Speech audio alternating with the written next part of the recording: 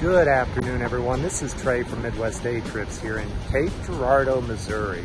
Checking out Muy Bueno, authentic Mexican food. Heads up, this happens to be our vote for the best Mexican food in Southeast Missouri. Personal favorite of ours.